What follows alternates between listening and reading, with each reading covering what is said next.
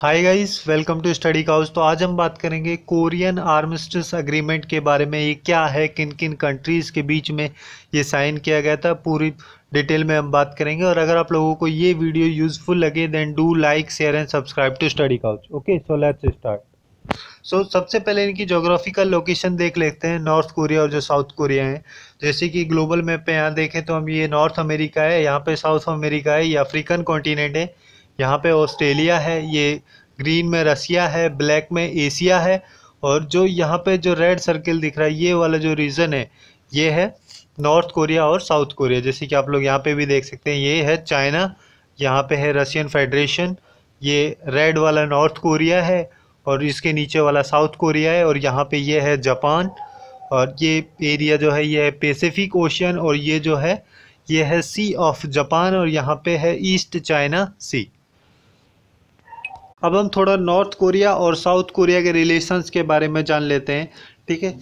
तो ये पहले, नॉर्थ कोरिया और साउथ कोरिया का जो रीजन है पूरा, पहले एक सिंगल नेशन हुआ करता था बट इसको एनेक्स किया गया था जापान के द्वारा 1910 1910 में। और 1945 में वर्ल्ड वॉर सेकेंड के टाइम पे, ये दो नेशंस में डिवाइड हो गया था, एक नॉर्थ कोरिया और एक साउथ कोरिया। और बाद में इधर एक कोरियन वॉर भी हुई थी 1950 से 1953 तक। उस टाइम पे एक आर्मिस्टिस एग्रीमेंट साइन किया गया था, जो कि कोई पीस ट्रीटी या पीस एग्रीमेंट नहीं है। और ये क्या है, उसके बारे में भी हम आगे बात करेंगे। बट पहले नॉर्थ कोरिया साउथ कोरिया के बारे में समझ लेते हैं। नॉर्थ कोरिया जो कि एक वन पार्टी स्टेट्स है, जिसको कि कम्युनिस्ट स्टेट भी हम बोल सकते हैं। नॉर्मली इसको किम डायनेस्टी जो है उसके द्वारा रूल किया जाता है। उसके द्वारा इसको चलाया जाता है और जो साउथ कोरिया है, उसको 1987 तक, उन्नीस सौ सतासी तक इसको एक पार्टी के द्वारा जो मिलिट्री डिक्टेटरशिप जो है, उसके द्वारा इसको चलाया जाता था। बट 1987 के बाद यहाँ पे डायरेक्ट इलेक्शन होने लगे। और जो कोरियन पेनिनसुला जो है पूरा कोरियन पेनिनसुला जो है, उसको इन दोनों के द्वारा क्लेम किया जाता है नॉर्थ कोरिया और साउथ कोरिया के द्वारा।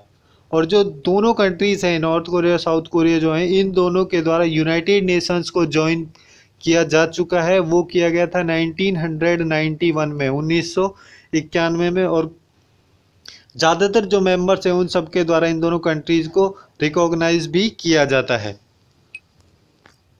और जो ये कोरियन आर्मिस्टिस अग्रीमेंट जो है, इसको बेसिकली 27 जुलाई 1953 को साइन किया गया था। हुआ ये था कि 1950 से 1953 तक जो वॉर चली थी, उस टाइम पे एक साइड में थी चाइना और नॉर्थ कोरिया और दूसरी साइड में थी यूनाइटेड नेशंस कमांड जिसको कि लेड किया गया था यूनाइटेड स्टेट्स के द्वारा। तो इन दोनों के द्वारा बाद में 1953 में 27 जुलाई को जो चाइना के और नॉर्थ कोरिया के जो मिलिट्री कमांडर थे, उनके साथ में और जो यूनाइटेड स्टेट्स के द्वारा यूनाइटेड नेशंस कमांड जो लेड की गई थी, उनके द्वारा इसको साइन किया गया था, इस ट्रीटी को। जिस ट्रीटी का नाम है कोरियन आर्मिस्टिस ट्रीटी या फिर कोरियन आर्मिस्टिस एग्रीमेंट और यहाँ पे एक इंपॉर्टेंट चीज़ ये भी है डीमिलिटराइज जोन ये क्या है? ये बेसिकली जैसे नॉर्थ कोरिया यहाँ पे और साउथ कोरिया वाला जो यहाँ पे है, यहाँ पे एक डीमिलिटराइज जोन भी बनाया गया था, जो कि दो किलोमीटर लंबा जोन है और जो नॉर्थ कोरिया की जो कैपिटल है, जिसको कि पेगोंग बोलते हैं, उससे 210 किलोमीटर की दूरी पे है और जो सियोल है, जो कि साउथ कोरिया की कैपिटल है, उससे 60 किलोमीटर की दूरी पे है। और जो ये डीमिलिटराइज जोन है, इसके अंदर एक जॉइंट सिक्योरिटी एरिया भी है। यहाँ पे बेसिकली जो भी फैक्ट्रीज होती हैं, यहाँ पे नॉर्थ कोरिया में काइसोंग एक जगह है, ठीक है? काइसोंग का जो एरिया है, वहाँ पे नॉर्थ कोरिया और साउथ कोरिया दोनों कंट्रीज़ के द्वारा जो फैक्ट्रीज़ हैं जॉइंटली ऑपरेट की जाती हैं। और वहीं के पास में ही एक जॉइंट सिक्योरिटी एरिया भी है। और इन दोनों कंट्रीज़ के बीच की जो बॉर्डर लाइन है, जिसको कि मिलिट्री डीमार्केशन लाइन के नाम से जाना जाता है। और ये जो डीमिलिटराइज जोन है काफ़ी ज़्यादा इम्पोर्टेंट इस वजह से है कि ये किसी की भी जगह नहीं है, जो डीमिलिटराइज वाला, जो जोन है दोनों कंट्रीज़ के पास में, ये किसी की भी जगह नहीं है और साठ साल से ज़्यादा पीरियड से इन, इस जगह पे और कुछ है ही नहीं, कोई लोग वो भी नहीं रहते हैं। मेनली यहाँ पे वाइल्ड लाइफ पाई जाती हैं। और ये काफ़ी न्यूज़ में इस वजह से था कि लास्ट ईयर यूनाइटेड स्टेट्स के जो प्रेसिडेंट हैं ऑनरेबल डोनाल्ड ट्रंप उनके द्वारा मीटिंग की गई थी नॉर्थ कोरियन जो लीडर हैं किम जोंग उनके द्वारा इस जोन में जिस जोन को डीमिलिटराइज जोन बोलते हैं जो कि दोनों कोरियाज को नॉर्थ कोरिया और जो साउथ कोरिया उन दोनों को सेपरेट करता है।